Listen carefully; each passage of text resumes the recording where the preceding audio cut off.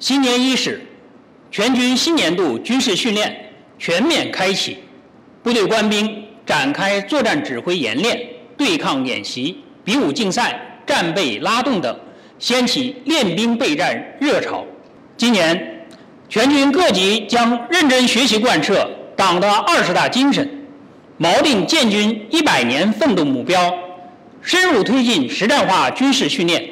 大力推动军事训练转型升级，一是大抓基础训练，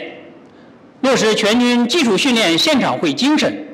全面推开专场化任教、集约化组训、模拟化训练、标准化考核组训模式方法，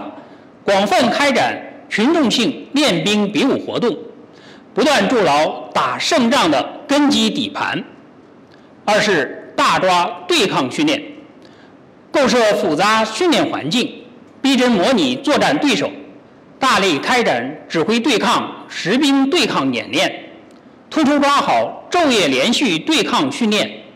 强化极限边界条件下训练，不断摔打锤炼部队。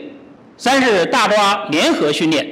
深化联战联训，加强军事斗争一线任务练兵，广泛开展实景化联合演练。加大军兵种联合编组、互为对手、互为条件训练，加快提升一体化联合作战能力。四是大抓科技练兵，瞄准高端战争，强化具有智能化特征的信息化作战演练，抓好以无人、智能为重点的新装备作战运用训练，培育非对称作战能力的新的增长极。全军指战员将坚决贯彻党中央、中央军委和习主席决策指示，树牢不畏强敌、敢打必胜的坚定信念，